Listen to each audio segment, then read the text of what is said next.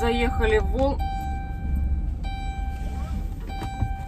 Заехали в Walmart, потому что этот, салфетки нужно было антибактериальные, потом ватные палочки эти, ну, такое всякое, расходники, короче, все заканчивалось.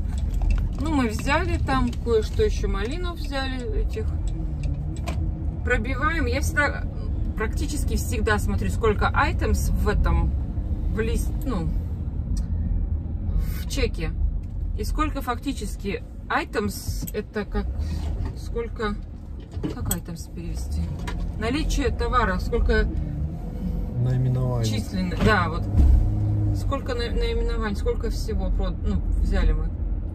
В итоге, считаю, у нас куплено 18, то есть у нас в пакетах уже 18 предметов, а на чеке отображается 17. Думаю, ну что-то не пробили, что-то не провелось, хотя вроде все пикало, не провелось и все.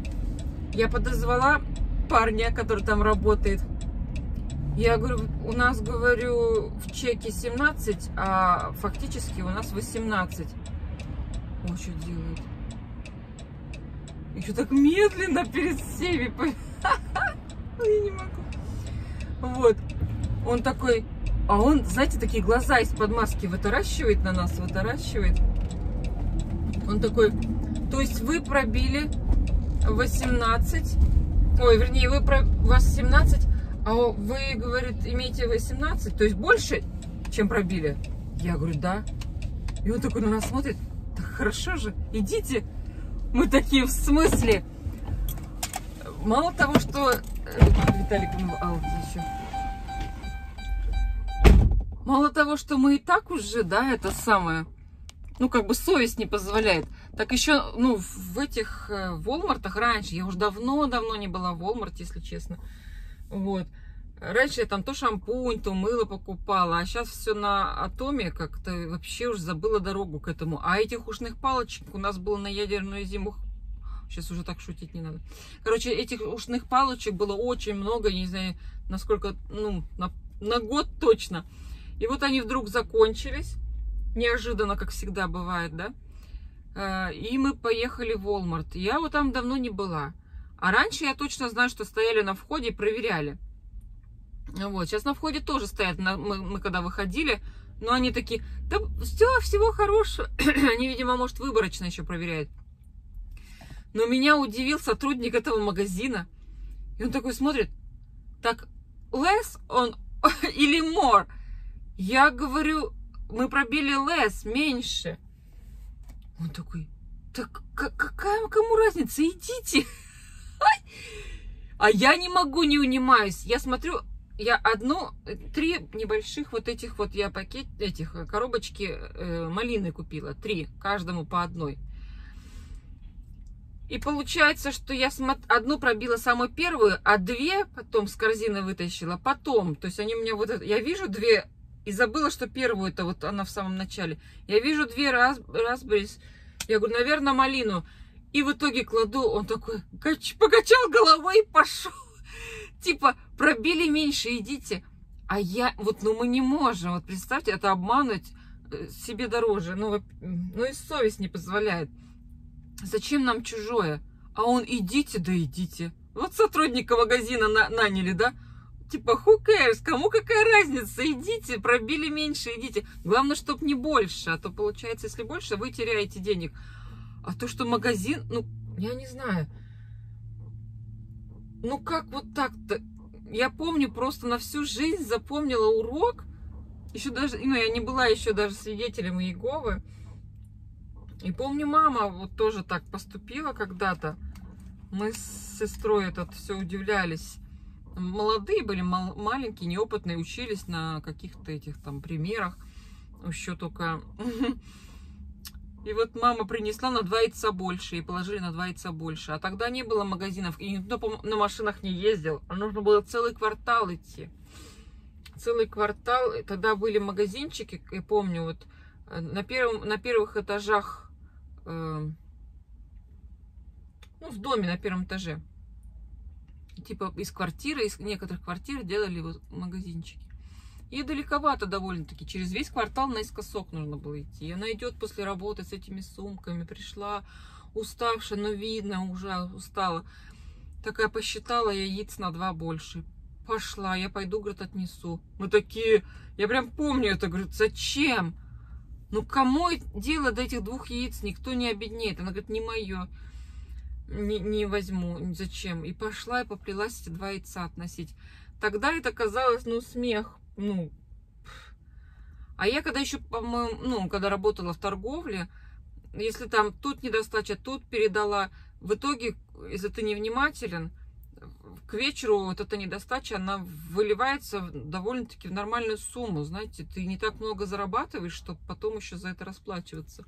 За эти все вот эти погрешности и ошибки. Не, и, да. Все это делится на, в основном, ну, когда, да. Ну, короче, и когда я одна работала, это все я сама должна была покрывать. Если я, например, Э, я очень недолго поработала в продуктовом магазине, я оттуда бежала, сверкая это пятками. Вот, и там делится на всех, как бы, все, недостачу делили на всех. Вроде получаешь эти копейки, в итоге с тебя еще снимают. Ну, короче, не, не больно-то магазин, как бы, этот, я не знаю, как здесь, наверное, все это на магазин вешается, все эти потери. Ну, факт не в этом даже. Речь-то не об этом, а речь о том, что можешь ты с этим вот взять, ты знаешь, что ты взял чужое, и пойти это самое. В итоге я беру, оставляю, а я, я сказала уже, беру эту, мне просто показалось, что это именно raspberries, то есть вот малину мы не пробили. Потом вышли уже из магазина. Эти женщины на входе, на выходе нас не проверили.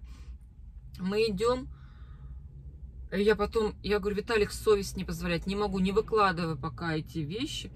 Смотрим, это пробили, это пробили, это пробили. Третью раз, Борис, нашли, пробили. Я говорю, ну что ж такое? И папаю нашли, папаю, так мне захотелось папайи, прямо... Сейчас про нее говорю, прямо не могу. Видимо, что-то хочется организму и папайи не пробили. И примерно она такая, ну, как бы на, по весу и во всему, она примерно так же, как Raspberries вы, выходит. И мы только из-за этого не стали уже, там, представьте, это вызывать этого, все. Примерно мы как бы, мы малину оставили, все, наша совесть спокойна.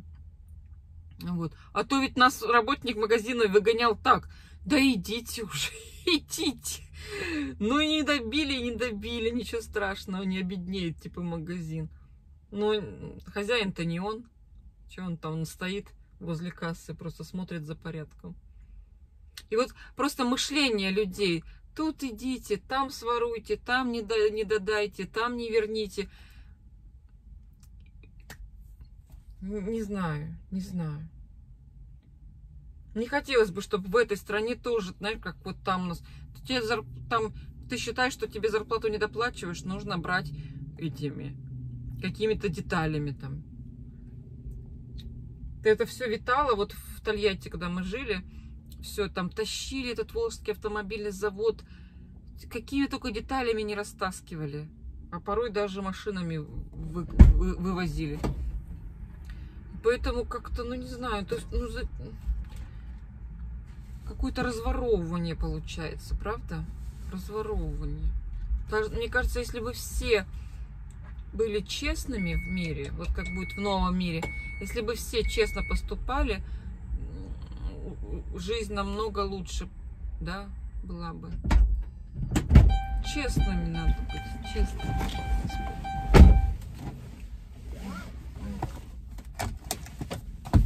Ладненько, давайте. Просто про это хотелось сказать, что не про то, что какие мы хорошие и праведные, а про то, что как работник магазина, говорит, и чё? А он не мог поверить. Он думал, что мы, наоборот, больше пробили, чем у нас есть на самом деле.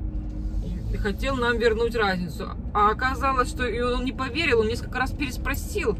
Он не поверил, что мы, пробив меньше, хотим вернуть что-то. Или, про... или допробить. Доплатить. Так идите! Так идите! Вы че, да? А? Или доплатить. Ну, допробить доплатить, то есть, да, правильно сказать.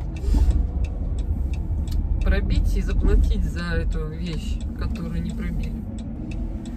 Я знаете, что в связи с этим хотела рассказать, вспомнилось. У меня вот этот тоже посттравматический синдром, стресс, когда в России, помню, это было метро, магазин метро. Я там была от силы раза два. Вот. И в один из этих разов, причем не я что-то покупать пришла, но я покупала, у меня было до этого ежедневник. Ну, как выяснилось, короче, потом. Ладно, не, не в этом суть. В общем, я с кем-то была, мы выходим через эти, я до сих пор вот этого боюсь, когда начинает сигналить вот эти вот двери стеклянные. Когда ты проходишь через вот этот детектор, там, который звенит. Вот. И поэтому я, у меня уже после этого страх. Он вдруг зазвенел. Я опешила. Ко мне подбежали такие эти охранники. Все это на людях, чуть ли не заломали мне руки. Ну, прям под, под руки, знаете, прям вот так схватили за руку и ведут. Как будто я страшный, просто... Сейчас включу свет. свет. Не. А ты... ты свет хочешь? Я хочу это. Открывается? Ага. Вот, как будто я страшный вообще нарушитель. Воровка страшная. Меня вот так вот уже заведомо, как будто я преступница. Завели в какую... Все такие смотрят, знаете, с таким этим... Кто-то с этим, как действительно с презрением, кто-то с непониманием, что происходит. Меня повели, а я-то вообще не понимаю, я же ничего плохого-то не сделала. Все у меня этот, как... Вот, вот каждый раз такой вот этот стресс, каждый раз отнимает, мне кажется, годы жизни какие-то. И я что такое? Почему? Сама не понимаю, куда вы меня ведете? Они меня провели в какую-то комнату. Вы, вы, вытрях... И вот отношения сразу такое. Там никто не церемонится с тобой, что там ласково, извините, мы хотим просто проверить. Сумку вытряхиваю, я вытряхиваю, все, ничего не понимаю. Проверили, обыска... обыскали. Хорошо завели мне. Я не помню, по-моему, мне там сказали раздеться. Пришла хорошо, что вызвали женщину досматривать меня. Мужики все вышли. Меня вот так все эти... Это самое, ничего не пищит. Возле сумки не пищит, потому что я все выложила. Потом вот эти вещи, которые... Это там игрушка для Джека. Если вещи, которые вы, вывалили на стол, над ними так пи -пи -пи провела, пищит. Начали проверять, что я там в сумку положила, что из этих вещей. Я говорю, да это все мое. Что вы делаете? Меня все, я, я красная как рак. Я заведомо, я, знаете, когда ГАИ останавливает там, ГИБДД там, да, сейчас, ты заведомо не прав, ты трясешься, что ты сделал что-то не так, хотя ты ничего плохого не делаешь, ты все время чувствуешь себя виноватым.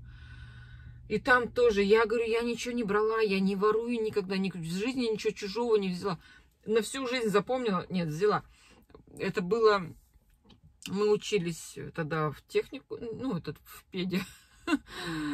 И с девчонками это самое стояли, ждали. Так пить охота была. Что-то было то ли жара, то ли что, жажда страшная. А эти э, студенты вечно голодные, короче. И там мало того, что это... И стояли, мы ждали пока... А тогда наливали стаканчики. Из этих наливали стаканчики. Можно было попить. Стояли, ждали, ждали. Там 15-20 минут. У нас уже же пара сейчас начнется. И мы взяли там вот столько в бутылке были. Вот так за перелавок. Не я даже, по-моему, да. И мы взяли это, выпили.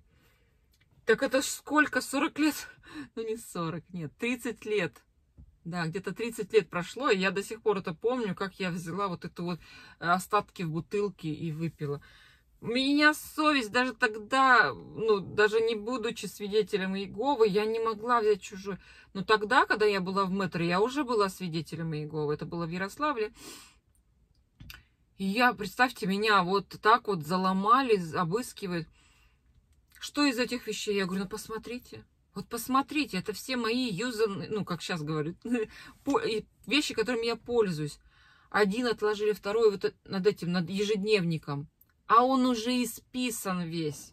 Мы тогда ежедневниками пользовались, договаривались в том служении, писали э, кто, ну, короче, свои пометки, там, когда, с кем, где мы ну, встретиться, куда к врачу, не только там служение, там все, в ежедневнике мы вели, я вела всегда.